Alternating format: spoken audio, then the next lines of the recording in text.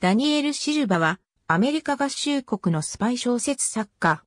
ミシガン州で生まれ、カリフォルニア州で育った。現在は、ワシントン DC 在住。カトリックの家庭で育ったが、後にユダヤ教に改宗した。執筆活動の始まりは1984年、現在も勤める UPI 通信社のジャーナリストとして民主党全国大会を取材した時だった。1年後にワシントン DC の本社へ移動。さらに2年後、中東の特派員に任じられ、エジプトのカイロへ転じた。CNN のワシントン本部の仕事を得て帰国。同局では、討論番組のクロスファイアやキャピトルギャングなどのプロデューサーやエグゼクティブプロデューサーを務めた。1994年、処女作、マルベリー作戦の執筆を開始。1996年に刊行され、ニューヨークタイムズのベストセラーとなった。翌1997年、専業作家になるために CNN を退社。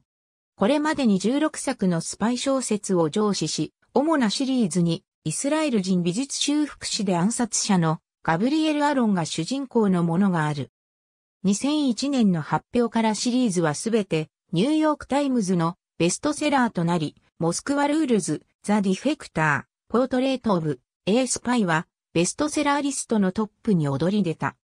イスラム系のテロリストとの戦いを描いたものや、ロシアとの戦いを描いたもの、第二次世界大戦やホロコーストなど、歴史的な出来事について描いた作品などがある。2007年、ユニバーサルピクチャーズが、ガブリエル・アロンシリーズのうち、2005年に発表したザ・メッセンジャーの権利を買った。